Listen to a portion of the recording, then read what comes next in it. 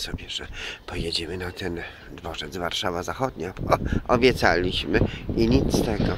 Państwo zobaczą, może dzisiaj, może jutro.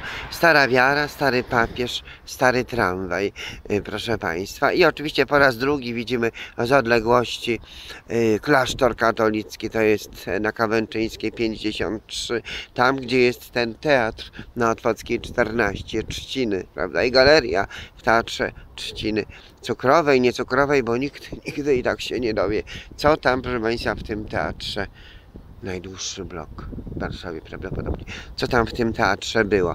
Jedno jest pewne, że ostatnio w tym teatrze Wiesław Przybyłowicz, jak na górze był koncert żydowski, staruszków żydowskich, to wlazł na scenę i zaczął wrzeszczeć, gdzie to wino? Gdzie ten wernisaż?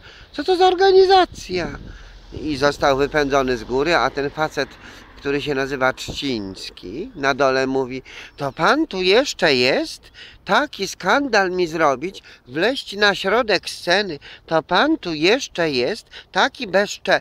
Jak to bezczelny, nie? A to bezczelny mówił, bezczelny. No, także kościół na kościele Warszawa Moherowa Katolicy.